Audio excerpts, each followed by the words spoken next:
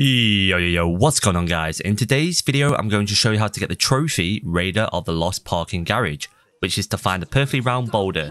So you need to do the side quest first at the zoo, so you can see in the location where I am. So you need to follow the poo marks on the floor, and you basically need to get the rhino back to get the rhino skin, otherwise you cannot get this trophy. So all you gotta do is head up here, try not to stand on the poo because I think you do slip. You go up the ladders and you can see that the rhino is here, kept that captive.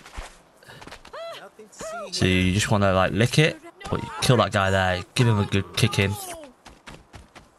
So you need to go back down to the location where you just came from.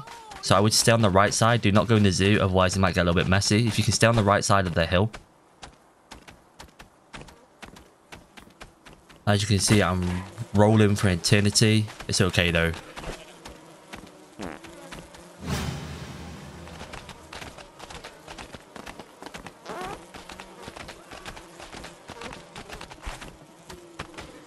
Just gonna put that in there and then boom, missing Rosie.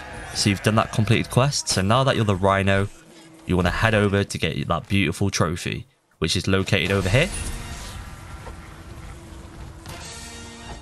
I am just going to walk it instead. Well, I'm going to use the power boots, so I'm not wasting your time. You just want to follow the highway all the way to the right side. You could teleport if you really wanted to, but I'm just showing you for the video.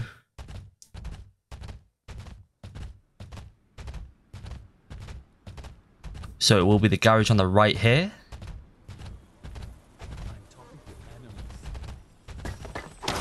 Just want to give it a headbutt. And because there is a trinket behind here, I'm scared for my life because I want to make the video as smooth as possible for the trinket guide. So make sure you're a goat.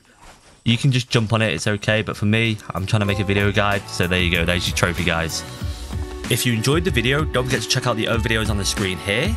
And I'll see you guys in the next one. Don't forget to subscribe and peace out.